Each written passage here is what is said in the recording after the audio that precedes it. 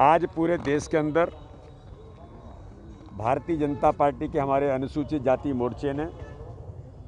संविधान निर्माता बाबा साहब अंबेडकर के, उनके मूर्ति के समक्ष मौन धरना देकर के इस बात के लिए पूरे देश के अंदर वातावरण बनाने की बात की है कि किस प्रकार से कांग्रेस की सरकार ने संवैधानिक व्यवस्था में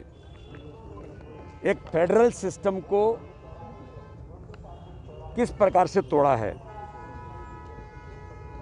ग्रीन बुक के अंदर प्रधानमंत्री या राष्ट्रपति या इस प्रकार के जो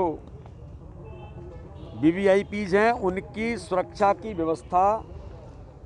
एसपीजी केवल इनर सेल की सुरक्षा करती है इनर सर्किल की, लेकिन बाकी सारी सुरक्षा का इंतज़ाम राज्य सरकार का होता है, लेकिन दुर्भाग्य है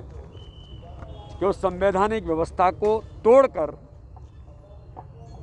कांग्रेस के नेतृत्व के इशारे पर वहाँ के माननीय मुख्यमंत्री जी ने जिस प्रकार की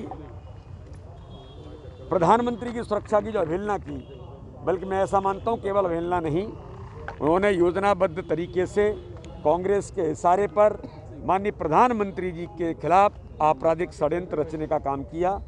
जो इस देश के लिए अत्यंत दुर्भाग्यजनक है। इसलिए आज अनुसूचित जाति मोर्चा पूरे देश के अंदर बाबा साहब अंबेडकर के समक्ष धरना दे करके आज हम ये बात कहने का समाज के सामने प्रयास कर रहे हैं कि बाबा साहब देखो आपके उस